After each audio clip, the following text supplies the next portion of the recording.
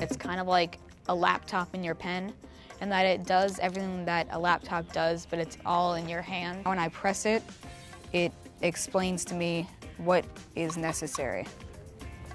Quiz question.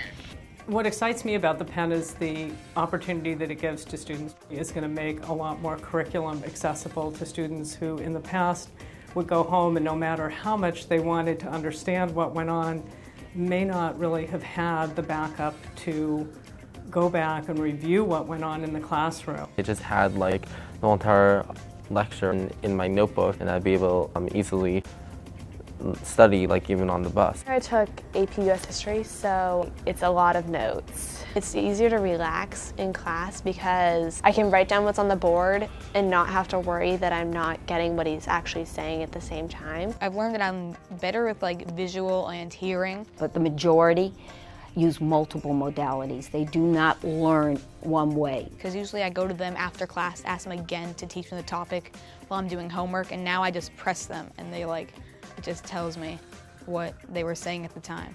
Our English language learners, our students with learning disabilities, would be able to benefit from being able to listen uh, over and over again. It's a great assessment tool. If I needed to know why my kids weren't getting the information that, that we were teaching, and I just passed them the pen and let them take notes, I could actually see why he wasn't getting it. I use it for recording my lessons that I want my students to master before they get to class. Teachers can actually share lessons or, or share assignments with students and parents.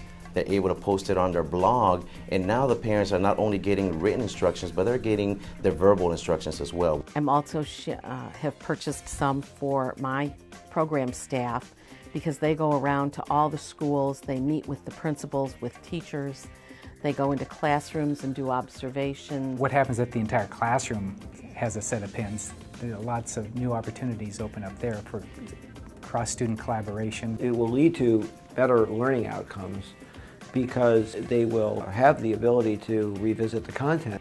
With just the one student, her notes became much more organized, much more detailed, and her grades went from, I think her first exam was a 30, and she was getting uh, exam grades in the 70s and 80s toward the end. I got an A at the end of the year, so yeah, I was really excited. So I see all of the pieces that the pen has to offer, a more complete classroom or an extension of the classroom. So the classroom doesn't end when, when the bell rings.